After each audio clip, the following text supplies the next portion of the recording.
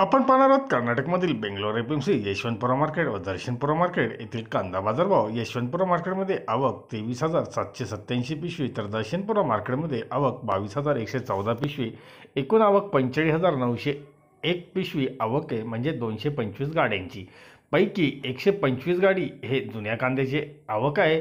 त्या एकशे पंचवीस गाड्यांना बाजारभाव सुपर क्वालिटी कांदे अठराशे ते एकोणीसशे रुपये प्रति क्विंटल अठरा ते एकोणीस रुपये किलो असा बाजारभाव भेटला आहे तर त्याखालोखाल कांदे सतराशे ते अठराशे रुपये प्रति क्विंटल विकले गेले. मोकल साईज कांद्याला सोळाशे ते सतराशे रुपये असा बाजारभाव भेटला आहे तर सरासरी एक हजार ते पंधराशे रुपये दरम्यान कांदे विकले गेले. कर्नाटकमधील नवीन कांदे शंभर ट्रक आवक होती. त्या नवीन कांद्याला बाजारभाव शंभर रुपयापासून बाराशे रुपये प्रति क्विंटल असा बाजारभाव भेटला. आहे एकंदरीतच बेंगलोर एपीएमसीमध्ये जुन्या कांद्याला जास्तीत जास्त एकोणीस रुपये प्रति किलो तर नवीन कांद्याला बारा रुपये प्रति किलो असा बाजारभाव भेटलेला आहे. आवक निम्म्या निम्म्या कांद्याची जवळपास नवीन व जुन्याची झालेली पाहावयास मिळाली. धन्यवाद. व्हिडिओ आवडले असेल शेअर व लाईक नक्कीच करा. चॅनलला सबस्क्राईब करा बेलायकनला क्लिक करा.